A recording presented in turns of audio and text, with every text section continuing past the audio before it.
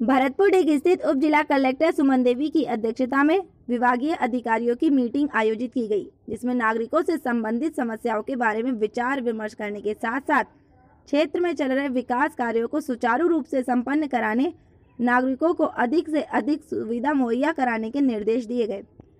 SDM Suman Devi द्वारा विकास अधिकारी को पूछरी में सीसीटीवी कैमरे लगवाने बरौली चौथ के पेशन प्रकरणों का निस्तांतरण गाँवों में नालियों का सही ढंग से निर्माण, घड़ी मेवात पंचायत व अऊ में पशु चिकित्सा के लिए ज़मीन आवंटन करने के निर्देश दिए गए।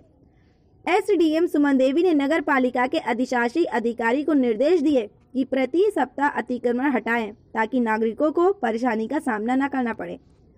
पीडब्ल्यूडी विभाग के अधिकारियों को निर्देशित करते हुए डिग एसडीएम ने कहा कि निर्माण कार्यों को सही ढंग से निर्माण कराया जाए। उन्होंने कहा कि नागरिकों की सुविधा के लिए पहले वैकल्पिक मार्ग तैयार कराया जाए।